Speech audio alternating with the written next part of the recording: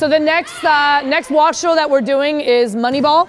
So one team will get a serve receive ball. They'll get three down balls. The other team will get three down balls. Okay, so that's a total of seven balls. If you let it four to three, five to two, six to one, seven zero, you get to pick serve or receive. Okay, so really think about what you'd like there. Setters, you guys make the call if you'd like serve or receive. Okay. After that, that team, whoever wins that one point, that pressure situation point there, gets to keep those points. All right, game's to 25. Let's go, set it up. So we call this drill money ball because there's really only one ball at the end that will reward you with points. So you could win 7 0 because there's seven balls going in the drill, but if you don't win that money ball, you still get zero. So they're trying to earn as many points as they can here. Um, it starts off with a serve and then coach initiating three balls to one side and then three balls to the other side.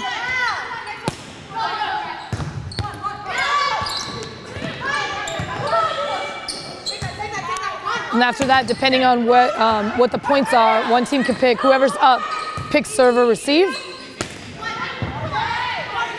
And then whoever scores that point gets to keep their points.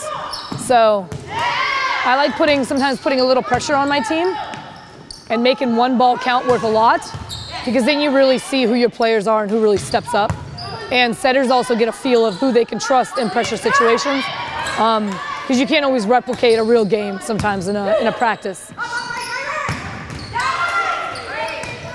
And that is also a serve receive ball versus a free ball sometimes, which these are.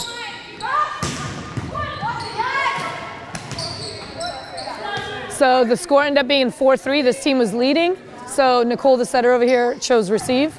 So her team will receive. If they win this point, they'll get to keep four points. If the other team wins it, they'll get to keep three. So good pass.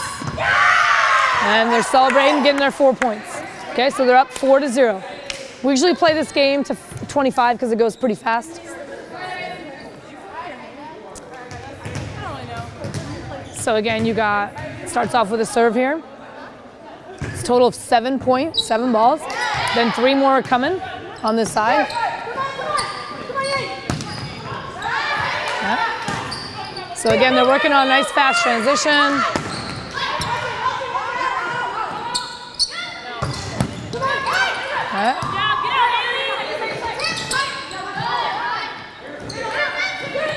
So again, it's a fast-paced drill, a lot of balls coming in a row but then some pressure, slower situations where they have to serve receive at the end.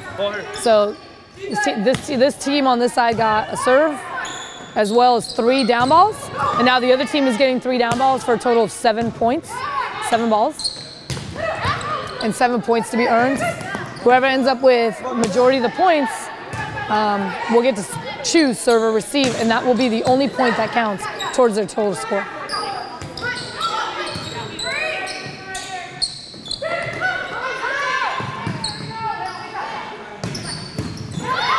Good up, good up.